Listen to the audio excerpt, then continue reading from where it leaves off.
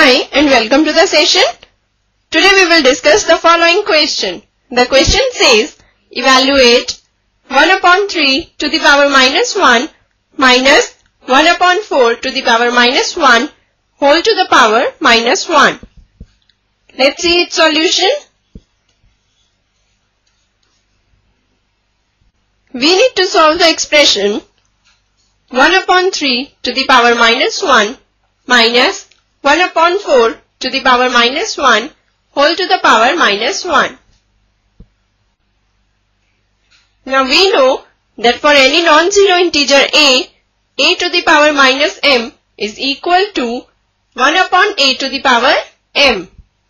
Now this can also be written as 1 upon a to the power m. So here we have taken the reciprocal of the base a that is 1 upon a. So this can be written as here to get the positive exponent we will take the reciprocal of 1 upon 3 and the reciprocal of 1 upon 3 is 3 upon 1.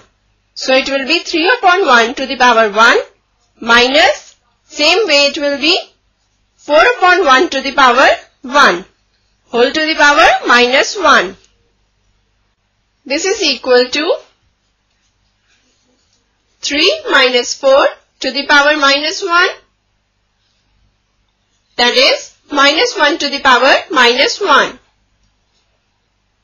Now again using the result a to the power minus m is equal to 1 upon a to the power m we get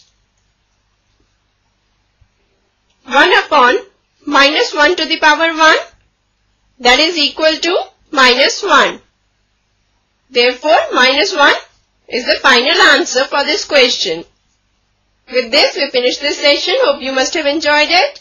Goodbye and take care.